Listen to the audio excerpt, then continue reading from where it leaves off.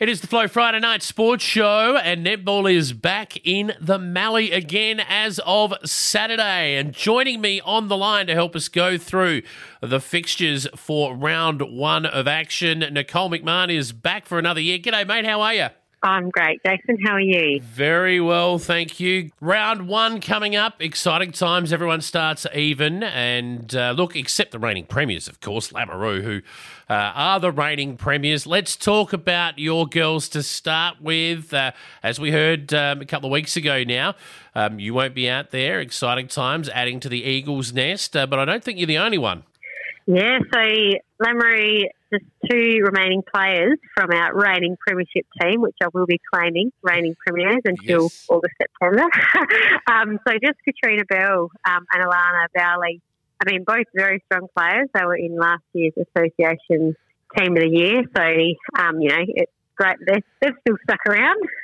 Um, but probably the biggest loss, Cassie Walter, um, who was the association best of fairest um, also uh, adding to the Hawk nest. Um, so she will definitely be missed to the Lameroo side, but um, they've picked up some great new recruits, um, including a couple from outside the district.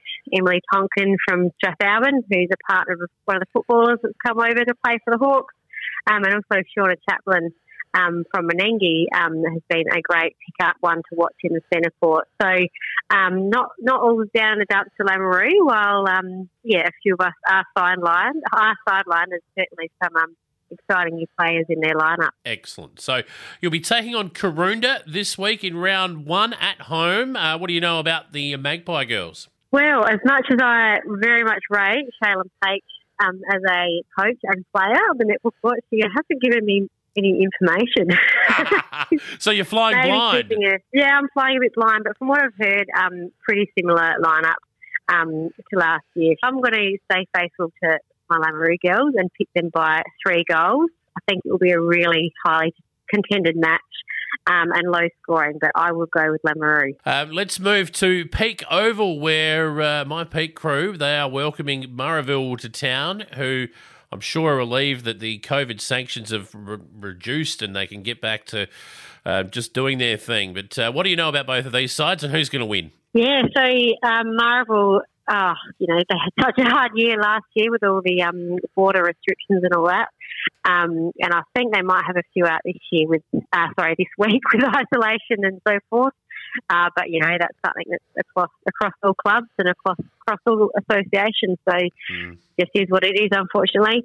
Um, so Peake and Murrayville, these two sides, they finished up fifth and sixth last year. So we actually got the um, I think the top two teams, well, he finished top two, Borders and In the minor rounds, Mm. are playing Lammer and Karoonda, who are third and fourth, and Peake and Murrayville, who are fifth and sixth. So a really exciting lineup. Um, but yeah, Murrayville, as always, quite a young side. Um, few new faces, which is really exciting. Looks like they've done some um, great recruiting once again. Um, Kirsty Heinze is going to head up uh, Murrayville Girls as coach. Good on her for giving that a go. She's um, jack of all trades, umpire, plays, um, and she'd be, I'd say she's, she's 21, so just a couple of years younger than me. um, but um, yeah, good on her for giving that a go. Um, Peake, you know, they have got quite a bit of depth in their side. Bianca Carl is back, I think, full strength. She had a injury last year. She's their tall, um, double my height goalie. um, fortunately, she's away this weekend. Um, so the Murrayville defenders will be quite happy about that. Uh, Peake also took out the preseason cup a few weeks ago um, at- at which is pretty exciting for them. Um, big gaps to fill though at Peake. Ashley McCardle has retired. She's just such a great leader um, and dominating player. But they have picked up Robin Lehman, who played for Karoonda a few years back, um, and probably a similar type player to Ashley with that, that really strong presence, really strong all rounder. So she's a yeah great pickup. So a tricky one um, to pick between those two sides.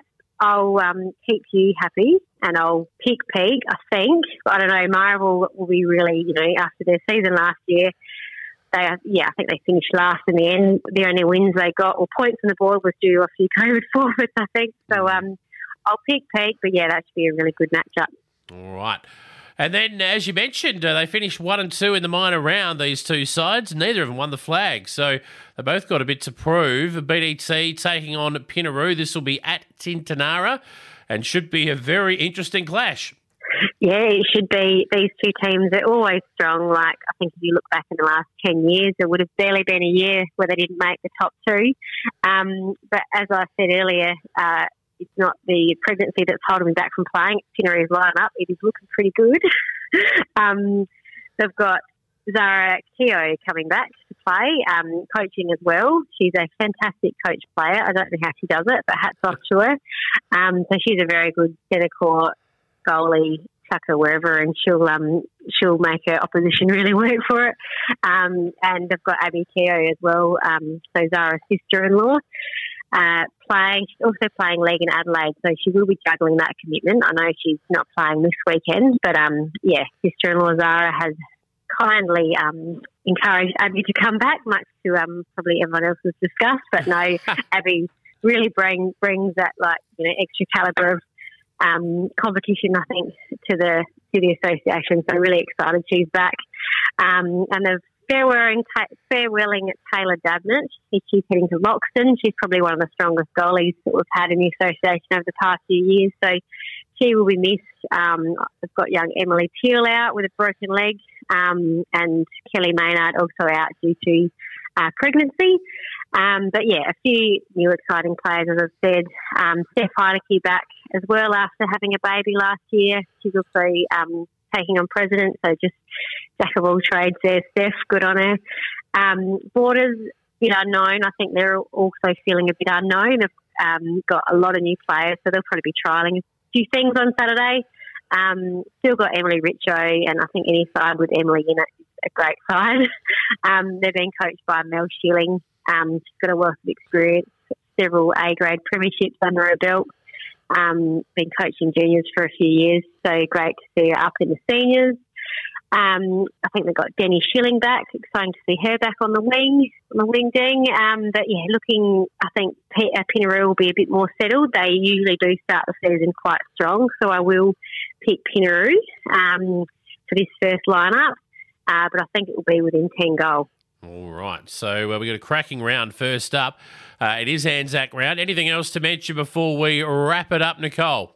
Yeah, Anzac round. Um, they give an award to every every A grade um, netball and football match, I believe. So you just choose um, one, you know, one uh, match, one venue. But yeah, which is exciting to see. So I think the goal is um, well, I know for Lameroo they'll announce it at the end of the A grade netball match, but then they'll actually award the uh, medal at the end of the A grade footy. So mm. stick around for that. Um, it's supposed to be a nice sunny day, and yeah, we'll, we'll get the season cranking. It should be a cracking day uh, all round, and uh, good luck to everyone hitting the courts this week.